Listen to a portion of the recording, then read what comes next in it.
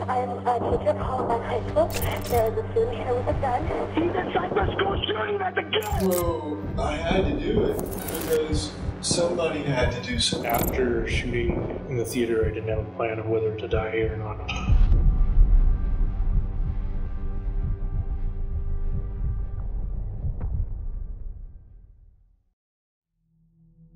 Hello again and welcome back. I'm back today with another school shooting. This one is one that I hadn't been familiar with, and it was certainly an interesting one to read up on. This case was one where information varied widely between different witness accounts. So as always, I did my best to weed out the inaccurate information, but something may have slipped in. If you are aware of either an incorrect detail or something important I left out, please leave it in the comments, and I will pin it if I'm able to verify it. Thank you for joining me for another video, and without further ado, let's get right into it.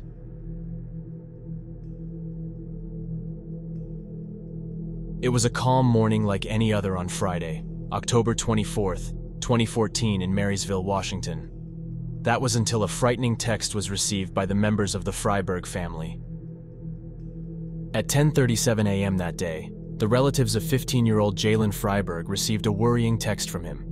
The text message consisted of Jalen explaining the specific desires he had for his funeral arrangements, such as what he would like to be wearing in his casket. He also went on to request that his family apologize to all of the friends and family who were going to, quote, get caught in this shit tomorrow. It was only minutes later when Jalen carried out a horrific attack on a group of his closest friends. Let's back up and talk about Jalen for a moment. Jalen Ray Fryberg was born on July 31st, 1999. He lived with his family on the Tulalip Indian Reservation in Marysville, Washington, where he was being raised to become a future leader on the reservation, according to fellow tribe member John McCoy. John stated, quote, A lot of folks were considering that he would move up the culture ranks and become a leader. He had that kind of charisma and raw talent. Jalen's huge family was well known around the reservation. His grandfather was part of the tribal council and was even the director of cultural and natural resources for the tribe, while his grandma was the general manager of tribal government operations. His parents were also involved in the community. It was no surprise that Jalen himself would likely move up in the tribe. He loved to learn more about his Native American roots and expressed a lot of interest in one day becoming a leader. He also was diabetic, not that it's super important to the case, but it kind of comes up later. According to most that knew Jalen, he was an all around outgoing and friendly guy. He was athletic and was part of his school's football team. He was also into wrestling. However, I'm not sure if he participated in this sport at the time of this case. Jalen also loved the outdoors and was big into hunting and fishing. I wasn't able to find much about his upbringing, so I'm assuming it was normal for the most part. In seventh grade, Jalen met a girl named Shailene, who soon became his long term girlfriend. They had their ups and downs like any normal couple, but their relationship sustained for quite a while. Fast forward a few years, and Jalen was now 15 years old and in ninth grade, attending Marysville Pilchuck High School.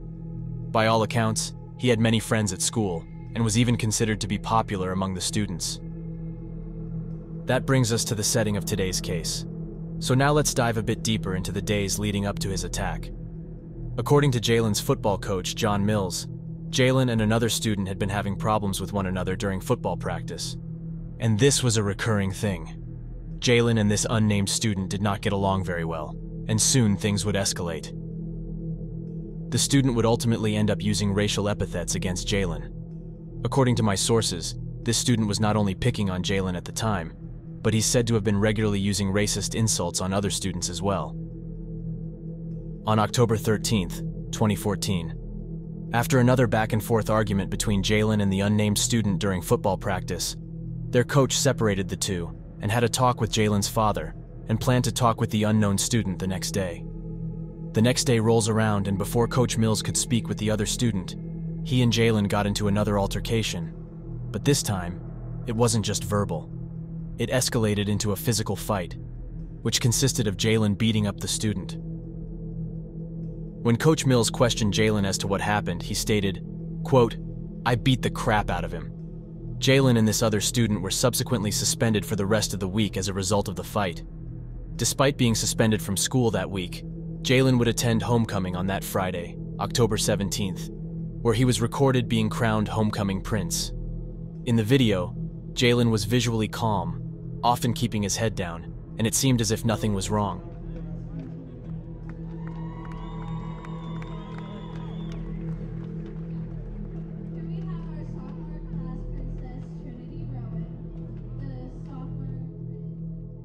Jalen's girlfriend Shilene did not attend the same school as Jalen, but she was accompanying him to the homecoming dance at his school. According to police reports, one of Jalen's cousins, named Nate, later stated that sometime during the night everyone went back to Jalen's house to hang out. Eventually, the only ones that remained were Jalen himself, Shilene, and an unnamed girl. At some point, Shilene caught Jalen laying in bed with the girl. Jalen told Shilene to leave and that he didn't want to be with her anymore. Apparently, Jalen told Shilene that he liked this other girl and that they were going to start something new together. This caused Shilene to freak out and storm out of the house. According to official police reports, conversations between Jalen and the other girl started sometime days prior, on the 15th. It was clear to investigators that they had started a relationship around this time. Despite their great efforts to keep the relationship hidden, it obviously came to light. His cousin Nate then recalled that Jalen and this other girl ended up doing, quote, stuff that night. Nate stated that Jalen expressed regret about his actions the next day and wanted to get back with Shilene. She would not talk to him. Since Jalen and Shilene didn't attend the same school, a lot of their communication was through text. The text conversation between the two on October 19th goes as follows, according to official police reports. At 3 a.m., Shilene wrote, I hate you. A few minutes later, she sent him, quote, Fuck you, Jalen. I hate you so much. Jalen responds, quote, This is your fault, not mine.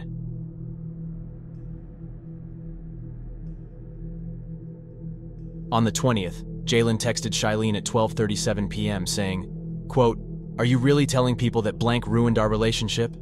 With no response, a few minutes later he sent, "Huh?" At 1 p.m. he sent, quote, "Just talk to me real quick. Is that really what you're telling people? Cuz I'm not at school, but people at my school are asking me what's going on and asking how blank messed things up. Might as well get your story straight and tell everyone you're a psycho. Tell everyone that you tried choking me and threw some punches, because that's really why I broke up with you. He continues, quote, I would have been fine staying with you, but you just went crazy. So please, if you're going to talk shit, get your story straight and tell the truth. Don't try to make this all mine or Blank's fault. It's yours. I'll post this shit on Facebook if you want, because you're really making me mad. I was gonna leave you alone and not have a single word come out of my mouth about you. You should do the same, so please, I'd like to just not hear my name coming out of your mouth. The text message goes on, quote, Not trying to be rude, but this is bullshit that you are telling people some different shit. I was gonna let your shit slide until you assumed me and Blank were doing something because we were laying close to each other, and then you went psycho. That's when I decided I was done. So get your shit straight. Bye. Shilene still did not respond, which prompted Jalen to send a series of more messages to her. At 1:09 p.m., he wrote, quote, "All right, whatever. I won't talk to you. I just hope you tell the damn truth from now on." A few hours later, at 4 p.m. on the same day, he sent, quote, "All right, can we talk? I bet right now you're at the point where you're like, fuck him. I don't want nothing to do with him. And I get that, but can we talk real quick?" Then he wrote, quote, I don't want to talk about getting back together, if that's what you're thinking. And I bet you're talking to someone, so I'll just leave that be. Nine minutes later, Jalen sent another message. Quote, Just tell me you don't want to talk. Damn, don't just hit me with that no response shit. Shilene still hasn't responded to his messages at this point, so he's pretty much just spewing to get her attention. Later in the day, at around 9 p.m., Jalen sent, quote, Okay, why'd you tell everyone me and Blank were fucking and walked in on us? He goes on to ask, quote, No, for real, why? Into the early hours of the next day, Jalen continued his messaging to Shilene. At 1:12 a.m., he wrote, quote, "Just please talk me out of this. The gun's in my hand. Please." About 5 hours later, Shilene finally responded saying, quote, "Jay." He then responded with, "What?" It wouldn't be until hours later at 9:21 a.m. when Shilene responded saying, quote, "Yeah, Don't text me ever. Don't call me in the middle of the night and say all this bullshit, and then tell me you're letting me go the next day. So fucked up. Do not ever talk to me. Don't text me at all. I can't believe you. I'm done forever. Don't miss me, don't want me back. Ever. Because I'm done. Nine minutes later, she sent another text saying, quote, I hope you understand that you are never getting me back, and I'm not gonna be here for you any longer. I'm out. All the way out. Done. I'm never believing anything you fucking say. You've done enough damage, and I would appreciate if you just left me alone. Good job, Jay, and thank you for making this a lot easier for me. Have a good life. Two minutes later, at 9.32 a.m., Jalen responded with, quote, I'm done hurting you. All the times I hurt you. You know I didn't mean to. You know it. So please just stop. Just talk to me, please. Shailene responded almost immediately, saying, quote, No, you stop. Stop hurting me. Stop hurting me over and over and over and over. Just fucking stop. An argument ensued, but it was just a bunch of rambling that isn't super important. At 7:37 p.m., after they had been fighting and Shailene had ignored him even more, Jalen wrote, quote, "And no one will make you feel the way I make you feel. No one. I love you so damn much it's crazy. And it's gonna kill us to see each other with other people.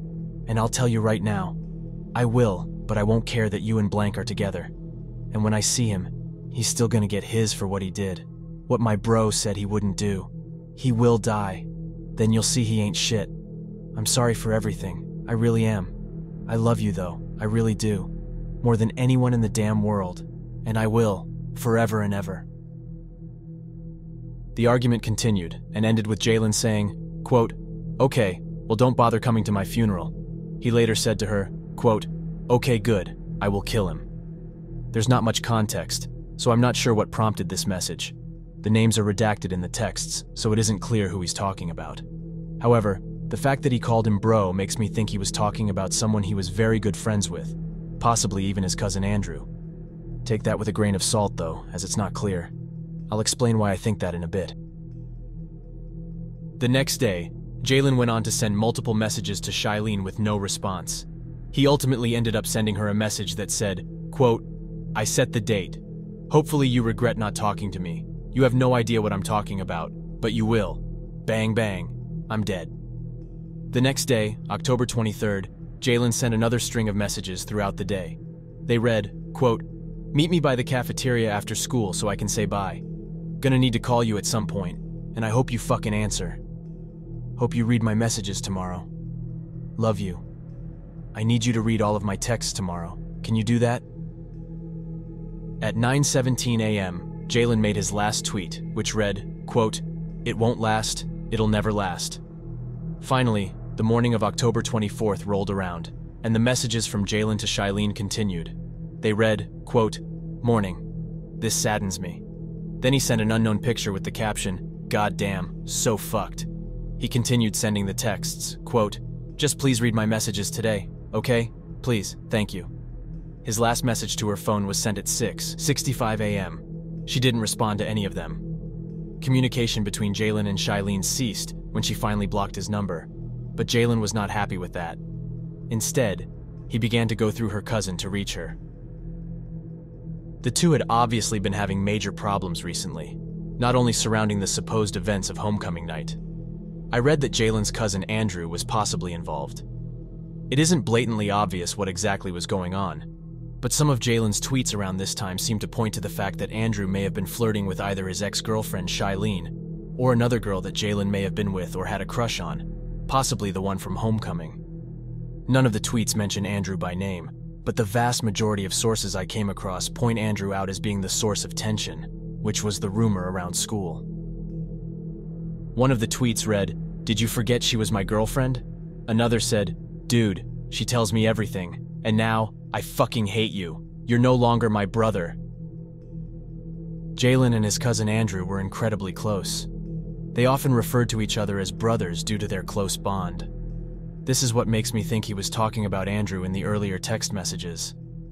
If Andrew was indeed doing what most sources claim, it would have broken Jalen, considering their relationship was so tight.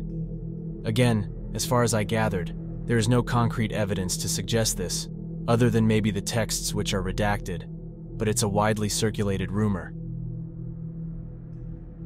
Also, according to his cousin Nate, in the days following the homecoming dance, Jalen was continually posting on Snapchat.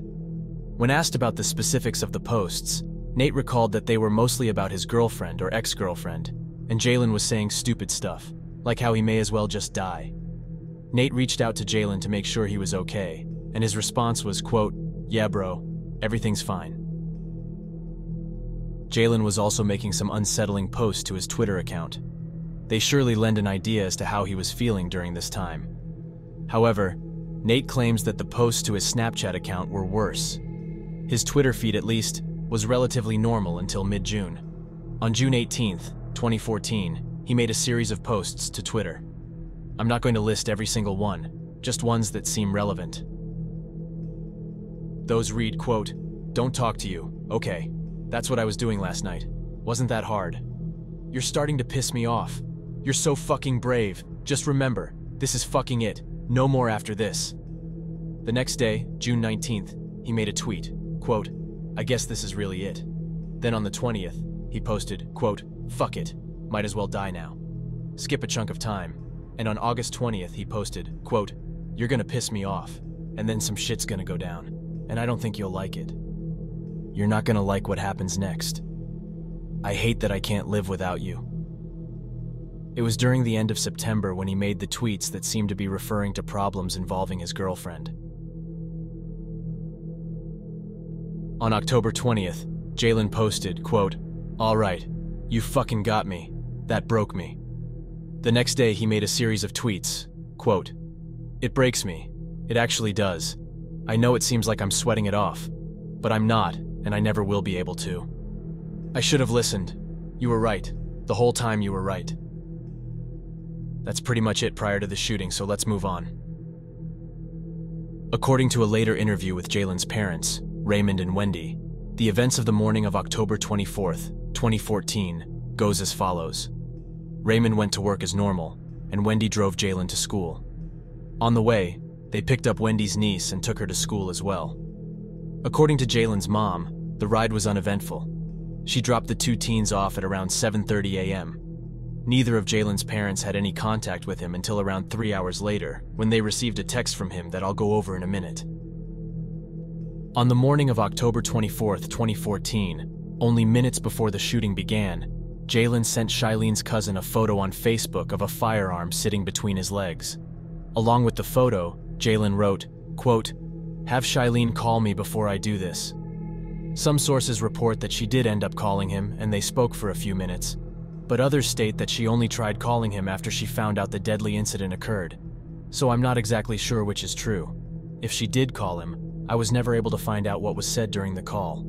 Either way, at 10:38 a.m., Shileen would decide to text Jalen's phone after hearing about this worrying message from her cousin. She states, quote, "Your number is blocked.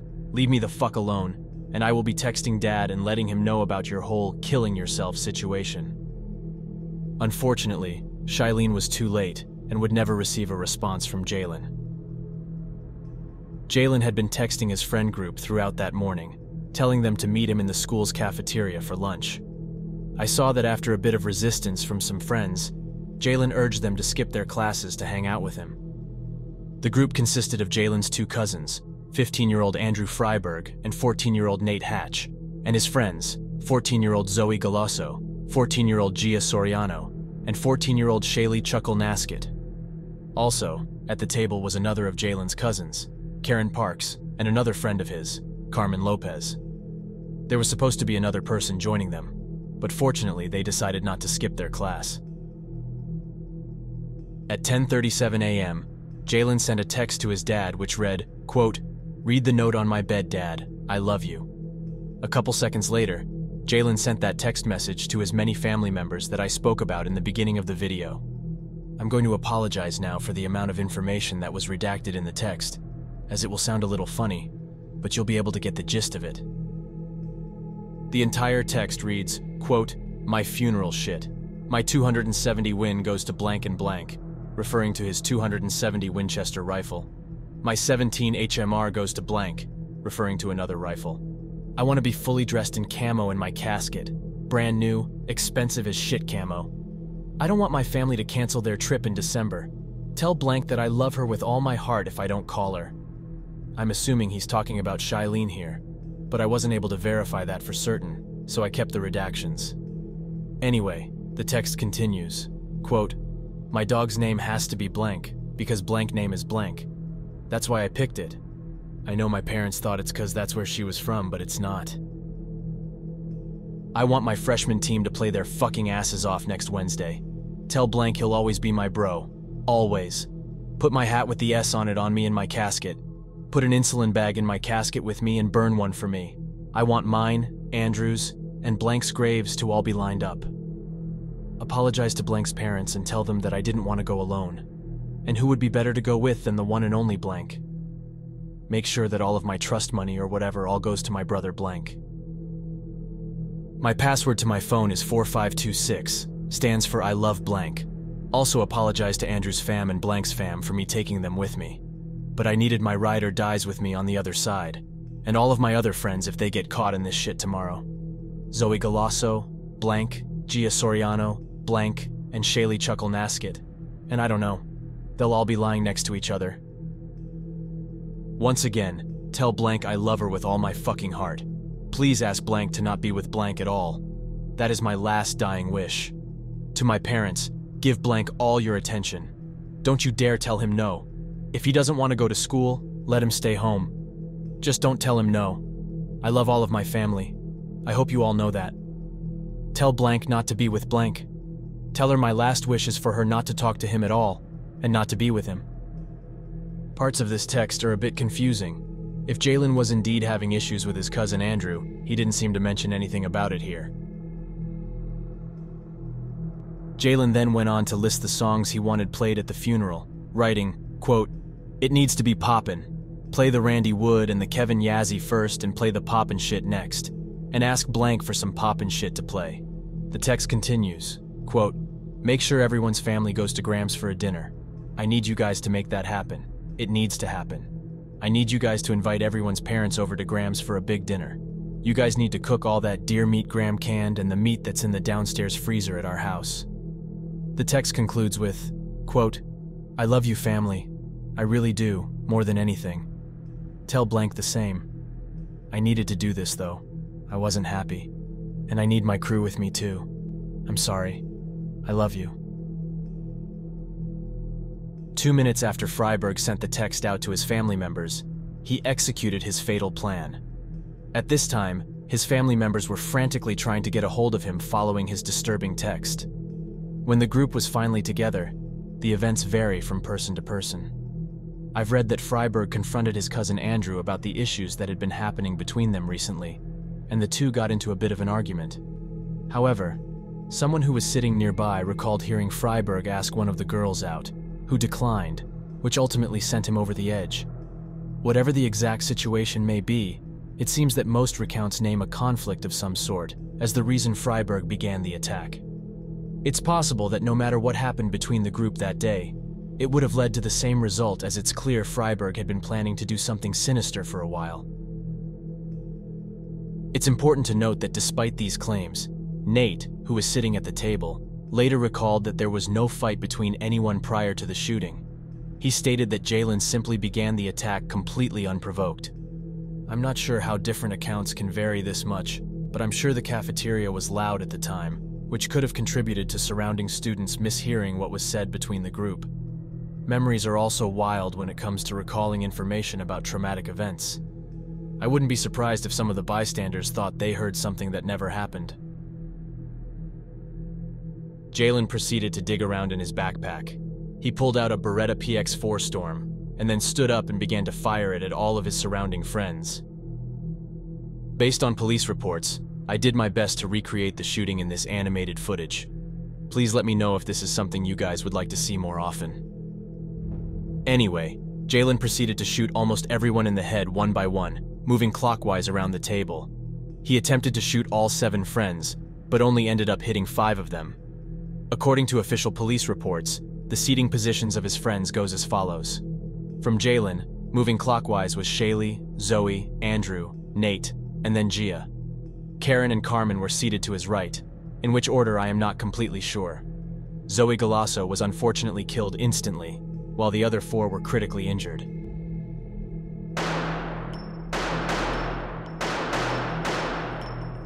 Thankfully, Karen and Carmen were both uninjured. Karen immediately ran away from the table, while Carmen instinctively dropped to the ground before fleeing. All hell broke loose in the cafeteria. Students were screaming and running in every direction, attempting to flee from the terrifying scene. Some students were hunkered down in classrooms, too scared to leave in fear they may encounter the shooter. Others were running out of the building, seeking shelter in nearby fenced yards and buildings. A teacher that was nearby, Megan Silberberger, saw as Fryberg shot his friends and immediately rushed to stop the gunman. Despite the horrifying situation, she decided to run towards the danger and risk her life to hopefully save others. At this time, she was only a first year teacher at the school. Jalen then proceeded to reload his gun, and before Miss Silberberger reached him, he turned the gun on himself and shot himself in the head or neck, depending on the source, ending his own life. The following clip is Miss Silberberger's 911 call, which went out immediately after Jalen's death. 911, we have a shooting, Marysville Pilchuck High School cafeteria. We have the shooter. We have many injured, Marysville Pilchuck High School. We need emergency help right away. Cafeteria, large cafeteria. My name is Megan Silberberger. I'm a teacher. Uh, okay, Megan looks like- Silberberger. Can you still hear me?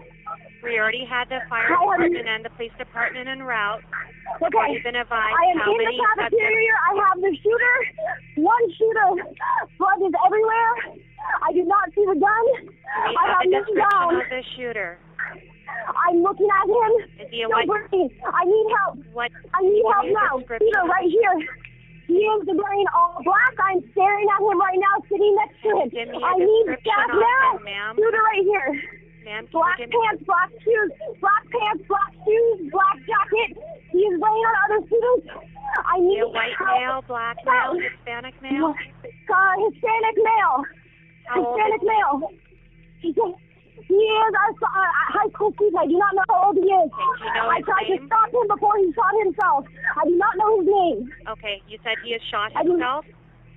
He shot himself. When first responders arrived, they pronounced Zoe Galasso dead on the scene, but the other four gunshot victims were alive and taken to nearby hospitals for immediate treatment. Jalen's family quickly showed up to the school, worried over the text they received. They weren't aware that he had already killed himself. At least two of the victims' head injuries were so severe that they were not immediately identifiable. Investigators had to get with the families of the victims in order to gather details such as birthmarks and the clothing they were wearing in order to get a positive identity on them.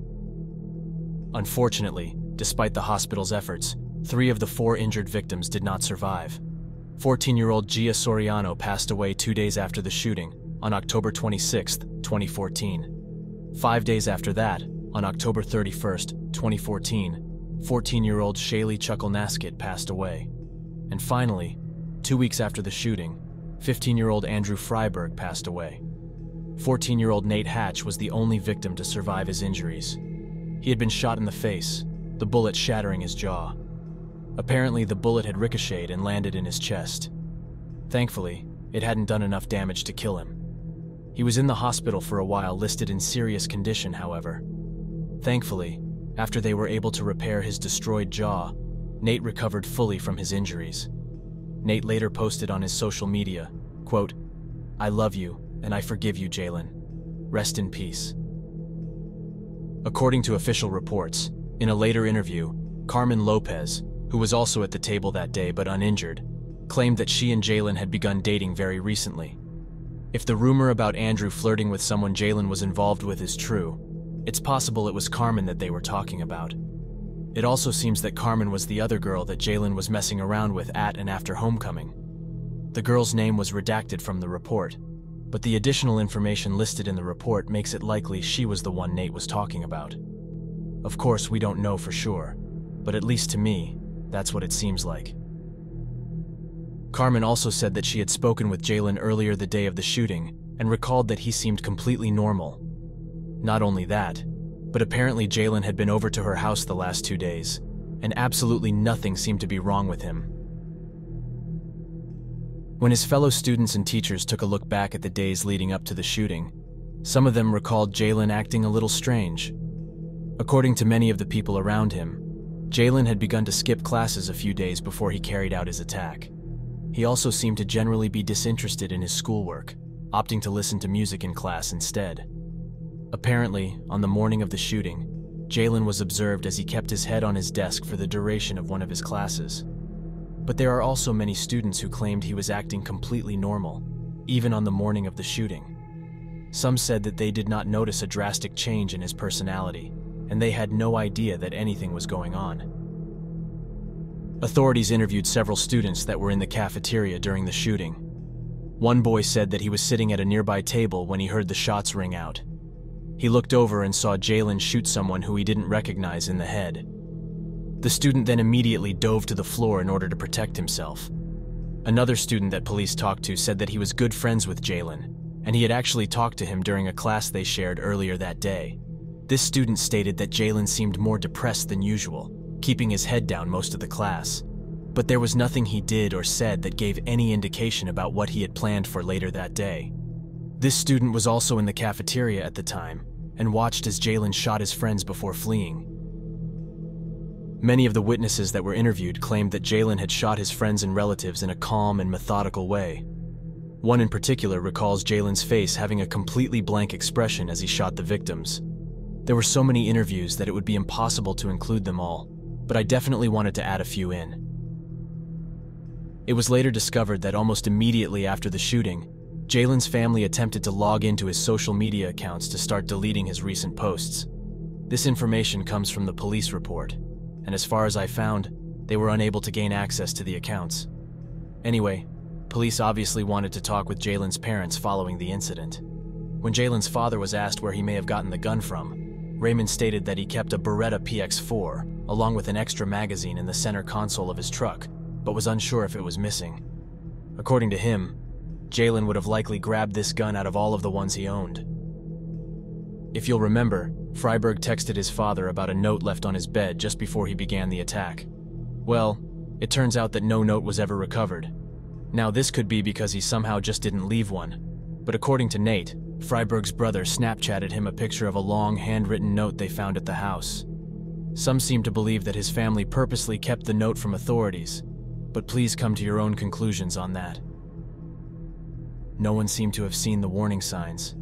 To us, it is blatantly clear that his mental health was rapidly deteriorating. Considering the texts he was sending, the Snapchats he was sending, and the tweets he was posting, Jalen was clearly going downhill, and fast. It astonishes me how no one in his life saw something like this coming, but I guess hindsight is 2020. In a tragic turn of events, this horrific shooting possibly could have been avoided altogether. Shockingly, a substitute teacher by the name of Rosemary Cooper, who was covering for another teacher the day or so before the attack, was warned by a student that a shooting would occur soon. Apparently, students all over the school were talking about a social media post in which they learned a shooting would take place in the cafeteria at 10 a.m. I was unable to hunt the specific post down, but multiple sources claimed this. What I don't understand is if everyone was talking about it, why or how would it have been able to take place? I also read that Jalen had sent a text out to a few people talking about killing himself. Anyway, according to Cooper, she told another member of the faculty about this concerning conversation she had with the student. She also apparently left a note for the teacher she was substituting for. But during the investigation, authorities were unable to verify any of that information. They were never able to turn up anyone that was apparently told about the threat. Also, no note was ever reported to have been found.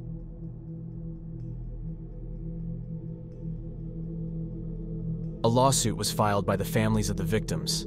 Carmen Lopez, one of the survivors, also filed a similar suit.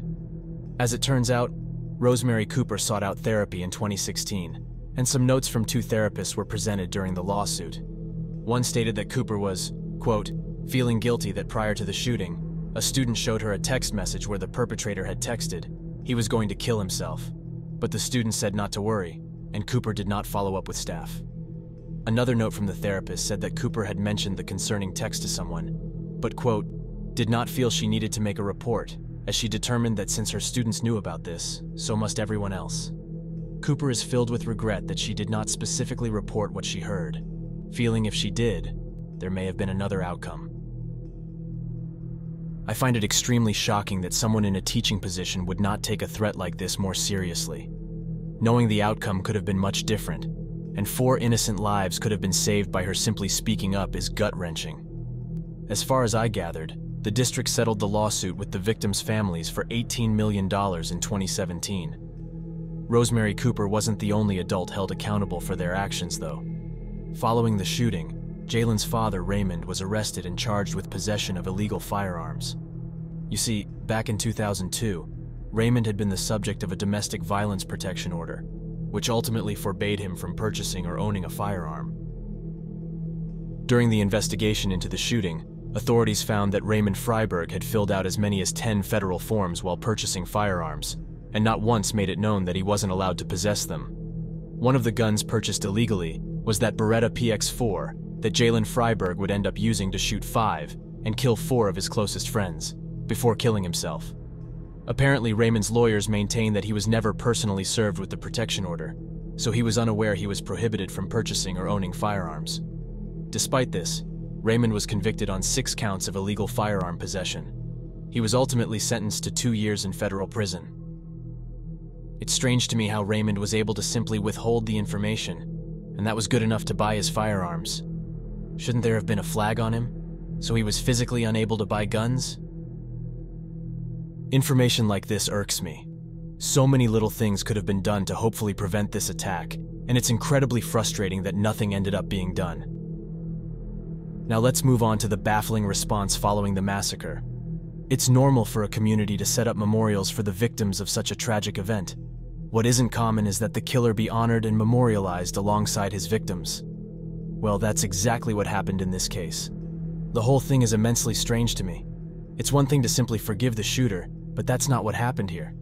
Strangely, the community began to include Jalen in the memorials, many of them posting on social media about how amazing he was. One post reads, quote, Don't you dare speak of Jalen badly. He is loved and will always be loved. He just wasn't in the right state of mind. I love him. Someone else wrote, quote, I can guarantee all the people saying Jalen went to hell didn't know him personally. Some students attending Marysville Pilchuck High School even wore shirts that said Team Jalen on them. Thankfully, the school shut this down and asked students to remove the shirts, as it is extremely disrespectful to the victims and their families to openly honor a killer. As if that wasn't weird enough, people continually defended him as well. I saw that one student posted to social media, quote, to the guy at Walmart who just looked at my shirt and said, I'm sorry you went to school with a psychopath. I'll pray for you. However, despite the school not condoning students wearing the Team Jalen shirts, they did for some reason still include him in the yearbook, along with pictures of him on the football team and at the homecoming dance. Now that may be because they are obligated to for some reason, but it seems a bit weird. There are plenty more instances of people honoring Jalen with memorial posts, but I think you get the gist. One thing I didn't touch on yet is Shailene's response. Hers followed suit with some of the previously mentioned posts. Seven days after the shooting, on October 31st, 2014, Shailene made a tweet saying, quote, I love you, Jalen Ray, with all I have. You will forever be my soulmate. Rest easy, baby boy. About five months later, Shailene made a post that said, quote, Jalen Ray, I love you, and I miss you so much, babe. On the two-year anniversary of the shooting, October 24, 2016, Shailene posted, quote, Not a day goes by, Jay. You're so fucking beautiful. Fly high, baby. On July 20th, 2017, she tweeted, quote, Why the fuck doesn't anyone realize I'm going to always love Jalen? I will love him for the rest of my damn life. She continued to post about him through the years, but the posts are pretty redundant, so I won't list them all. She eventually had a baby, coincidentally giving her the middle name Jay. I didn't go digging too far into her social media, but from what I gathered, she hasn't posted about Jalen in years, or at least not as frequently. There are so many supportive responses to the tweets which memorialized and honored Jalen. I can totally understand forgiving someone and not letting something tear your life apart. But to me, this whole thing is so bizarre. In my opinion, Jalen Fryberg doesn't deserve any honor in his death. He ripped four amazing people from this world and destroyed their families in the process. No matter how amazing or liked he was in his life, none of that matters when you commit an act such as this. His mental health seemed to play a huge part in his actions, but that still does not excuse this type of behavior. It certainly doesn't relieve him of the responsibility of what he did that day. I now want to dedicate the remainder of this video to the four people who should be remembered and cherished. I am so happy to report that unlike many cases, I was able to find a bunch of information on each victim.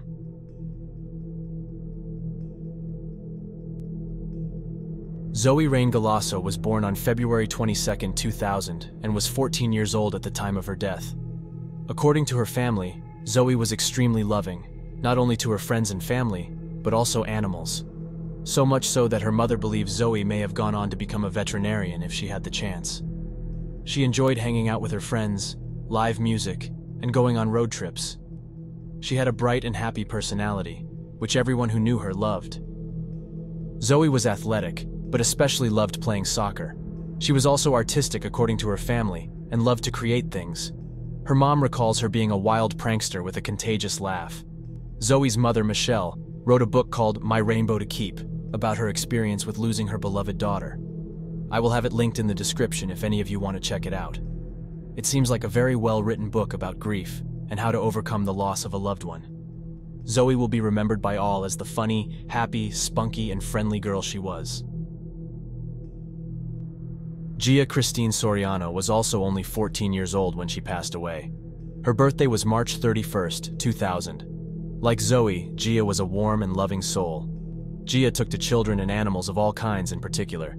In general, though, she was incredibly sweet and always bore a delightful demeanor. She was soft spoken, but definitely not shy, which made people naturally drawn to her.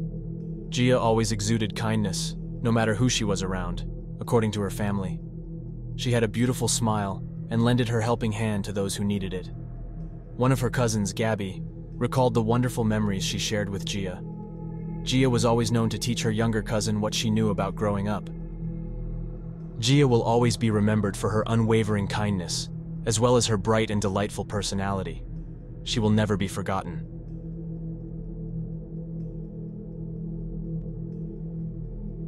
Shaylee Adele Chuckulnaskit was born on March 26, 2000, and was also 14 years old at the time of her passing.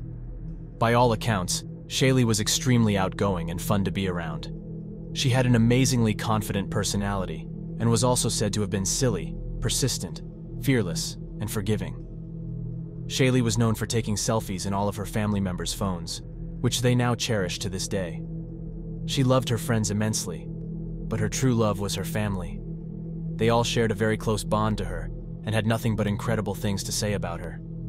Shaylee will always be loved and missed by her relatives. She will be remembered as the exceptional, fun, and loving young lady that she was. Andrew Martin Leroy Fryberg was the only 15 year old victim and was born on August 10, 1999. He was the firstborn boy in the immediate family, and his relatives recall that all of the girls would do anything for him. Like the other victims, Andrew is reported to have been incredibly kind. He was protective of his family and friends, and he cared for them deeply.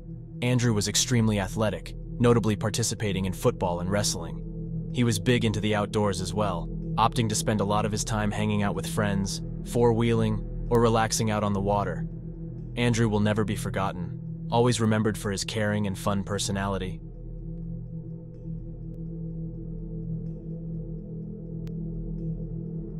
I hope that each and every one of the victims is resting well, and I sincerely wish nothing but the best for their friends and family. From what I read about each of them, they were all incredibly special and in no way whatsoever deserved what happened to them. All four of these wonderful kids had a bright future that they will sadly never be able to experience. It saddens me more than anything to think about their missed opportunities thanks to a selfish and evil person. They are no longer here because someone couldn't stand to be alone. Jalen said it himself in the text. He needed to bring people with him in order to satisfy himself. He was truly a demented human being. I appreciate all of you who stuck around and listened to the entire video. I hope you all learned something new if you have heard of this case before, and I truly hope you have a good rest of your day. See you next time.